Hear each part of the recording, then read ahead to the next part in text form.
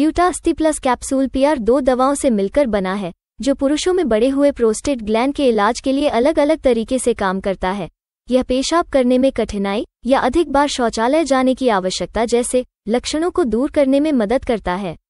इसका उपयोग prostate cancer को रोकने के लिए नहीं किया जाता है। ड्यूटास्ती प्लस कैप्सूल पीआर भोजन के साथ या बिना भोजन किए लिया जा सकता है, लेकिन इसे प्रतिदिन एक ही समय पर लेना चाहिए। आपका डॉक्टर आपके लिए सबसे उपयुक्त खुराक लिखेगा।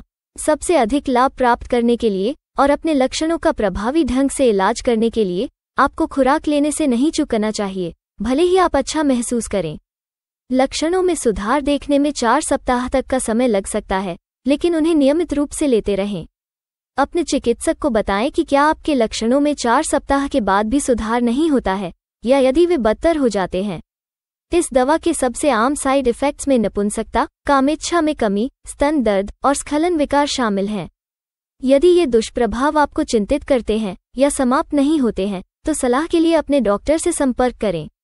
आपको चक्कर या नींद भी आ सकती है। जब आप पहली बार इस दवा को लेना शुरू करते हैं तो ये जोखिम अधिक होते हैं। याद रखें, आपके डॉक्टर ने आपको यह दवा इसलिए दी है, क्योंकि इसके लाभ साइड इफ़ेक्ट के जोखिम से अधिक हैं। ड्यूटास्ती प्लस कैप्सूल पीआर महिलाओं या बच्चों को नहीं लेना चाहिए। इसे लेने से पहले अपने डॉक्टर को बताएँ कि क्या आपको निम्न रक्तचाप या लीवर या किडनी की बीमारी है।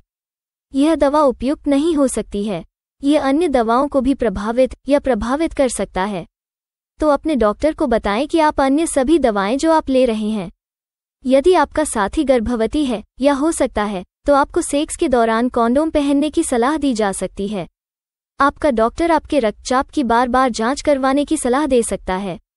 शराब पीने से बचें क्योंकि इससे इस दवा के साथ अत्यधिक चक्कर आ सकते हैं। वीडियो को पूरा देखने के लिए धन्यवाद।